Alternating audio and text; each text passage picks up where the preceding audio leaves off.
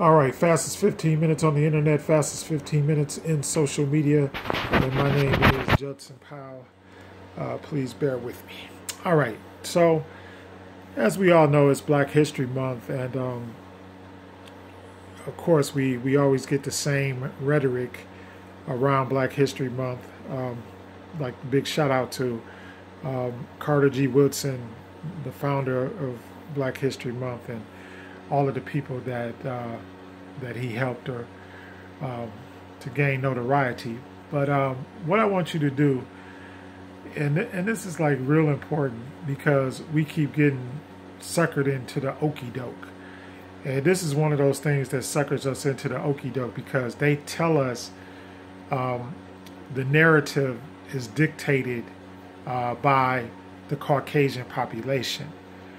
So we have a handful of people that they tell us about, and, and we have a handful of people that they don't tell us about. And one of the most important things that they need to uh, that needs to get out there is the fact that our history began 50,000 years um, before the year one. All right, so we've been here for a long time, and the the the histories of of uh, of Nubia, of Kush, of Kemet, uh, Ethiopia, all of these places is not included um, in Black History Month. Everything they do is is predicated, or the timeline is all predicated upon slavery, which is a disservice to our people. And I know everybody wants to be like, ah, da da da da da, but when we think about it, I mean, everything that that is just like, for example, they show us they they show us and they make money off of us by showing us slave movies. I mean, over and over and over again, they they keep on making the same movie. Okay, we understand that that we were at one point we were in slavery, but that's not our history. That's not that's not the origin of our history. Our history began long time before that. And so and and, and a lot of people because of that um, and because of the way that they try to uh, make us think and, and make us live, um, we don't realize like where our where our history actually came from, especially the the history of uh, of our spirituality, um, our our great ancestors that that built civilizations like Nubia and, and like Kemet and, and, and those type of things and like Kush and, and the fact that um, the first libraries uh, are located on the continent of Africa. The first knowledge, the first wisdom was was all came all came through um, through Africa, um, or Alkebulan, as I as I like to say. Um, so we need to understand that that history exists because that history is empowering. It's a, it's a when you don't know your when you don't know your past, then you can't create the future. The other thing is we can't live in the past. We have to live in the future. The thing about it right now is, and I keep telling everybody this, is that right now we are at an unprecedented point in history because people have have now uh, become woke to what's really going on. I mean, not the fact that back in the 60s they, they didn't understand it, but now um, we have so many more people of all different races, creeds, and colors that understand what's going on and what the powers that be are trying to do. All right, and what they're trying to do is they basically they don't want you to understand or to know your history.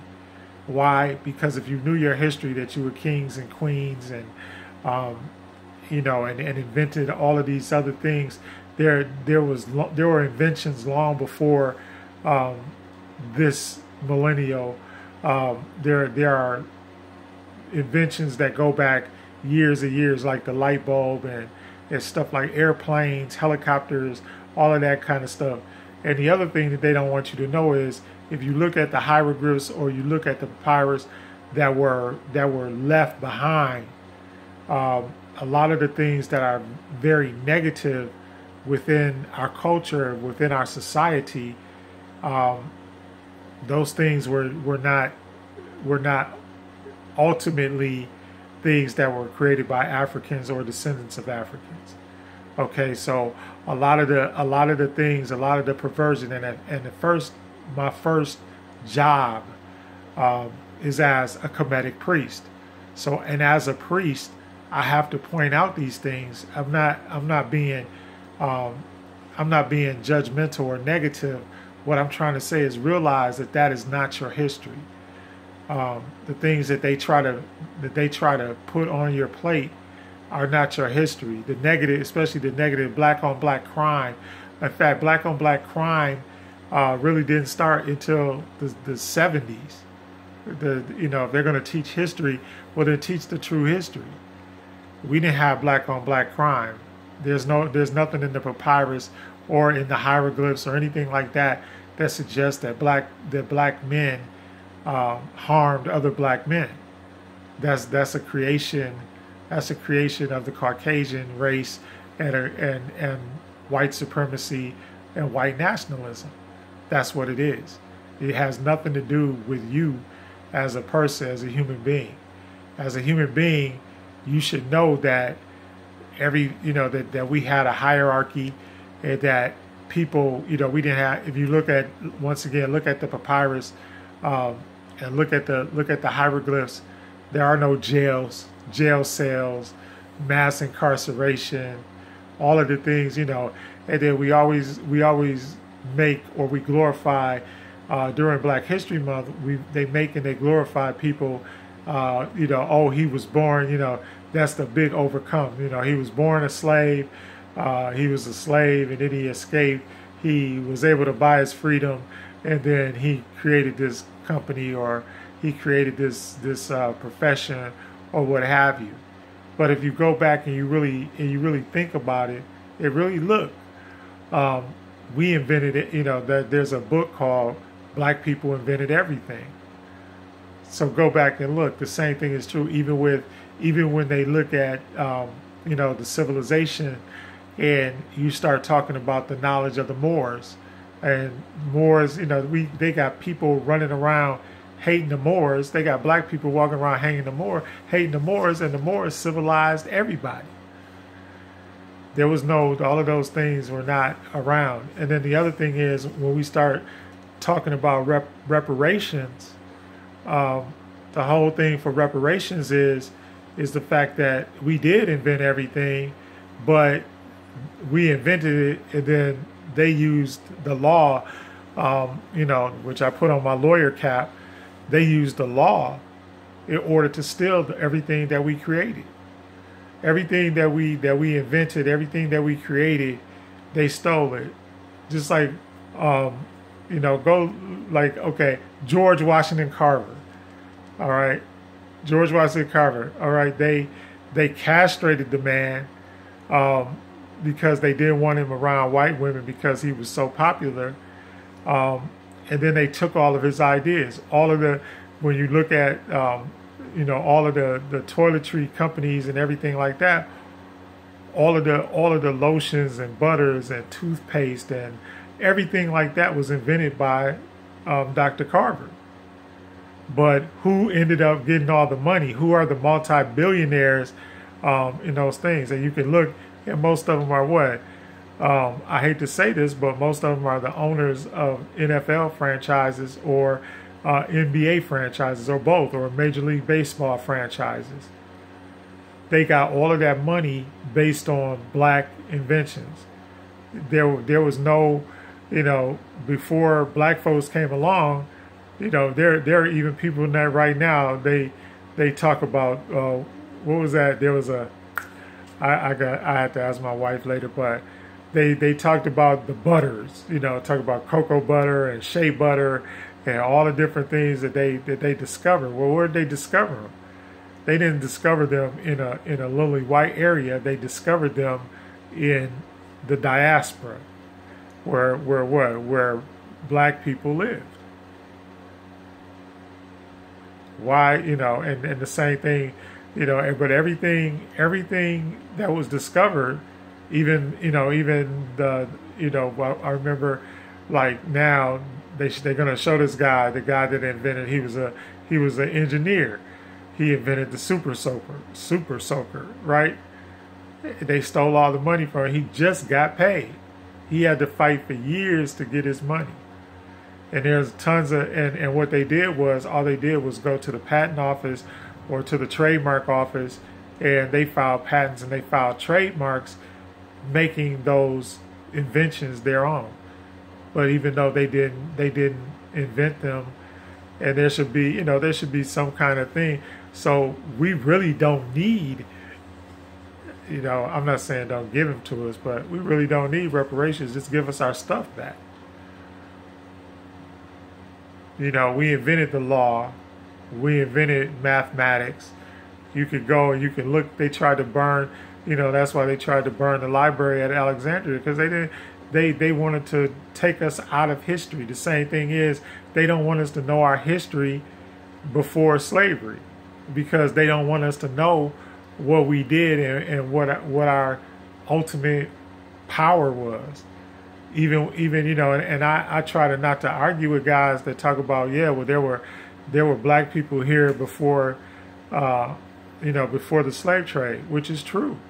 Because if you if you look at the at the um, at the Pharaoh Khufu that's where they got the story from about you know the Noah's Ark and all that from. But we had boats. We had ships you know black people sailed to the Americas long before they had to. How do you get the stories of the of, of Spain and Portugal and all of those people? How do you get those stories? They you know they arrived someplace and then all of a sudden they discovered it. They didn't discover shit.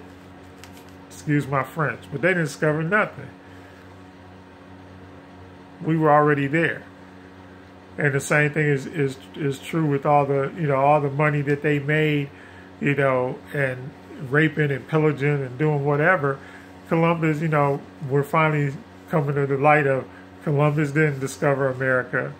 You know, why are we talking about Columbus Day? Nobody, you know, they uh, they you know Napoleon, uh, who went all throughout, and Alexander the Great, who went all throughout Africa uh, raping and pillaging and blowing the noses off the, you know, blowing the noses off what? Off the off the, the artwork, the Sphinx, and everything else, because they didn't want anybody to know that these were Africans and descendants of Africans that discovered all of this stuff. So they just made it made it up and, and they stole it. But everything that's out there, you know, so that's why I always tell people don't say that it's not yours. It is yours. And they don't that's the one thing they don't want you to claim. They don't want you to claim historically what is yours. We discovered America. We you know, why were there Mayans and Incas in, in South America? These are these are human people. When I when I gave that when I did that teaching about humans and whatever, look at the papyrus and look at you know read the read the things that are done by um, done by the Honorable Elijah Muhammad and also by Noble Drew Ali, the you know the, the leader of the Moors um, in the 60s, 50s, 60s, and 70s. They had they had no culture. They had no you know all the food, you know, all the even condiments. Y'all think about Heinz and all of these families that own all this all this stuff. Well, it was black people white white people weren't in no kitchen cooking for nobody. Who you think was cooking that? Aunt Jemima, Aunt Jemima, uh, Uncle Ben, all of these all of these foods that have made like billions of dollars over time were created and discovered by us. Ketchup, mustard, mayonnaise. Just simple stuff that we made up. You know, simple stuff that we even, you know, even my favorite, Jack Daniels, black man. So until the, so re, during this time, remember that our history did not start with slavery. It started way before slavery. Way, 50,000, according to Heru on the Horizon. Heru uh, which is the Sphinx. The Sphinx is 50,000 years old. Anyway, that's all the time I got. I love you. Um, hit the like button, hit the subscribe button.